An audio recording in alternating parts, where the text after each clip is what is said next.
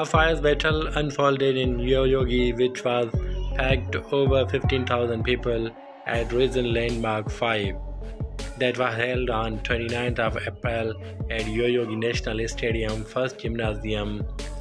Ren Hiramoto competed against first Rizin featherweight champion Yutaka Saito and Rizin MMA rules feather class. He lost at the end of the trial. In the four fights, after making a full-fledged MMA transition, Hiramoto had a five-point score of two wins and two losses.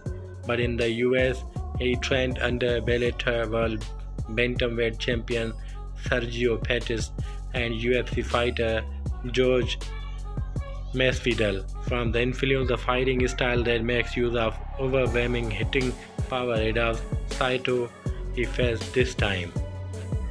Thanks for watching. Follow for more, like and subscribe my YouTube channel.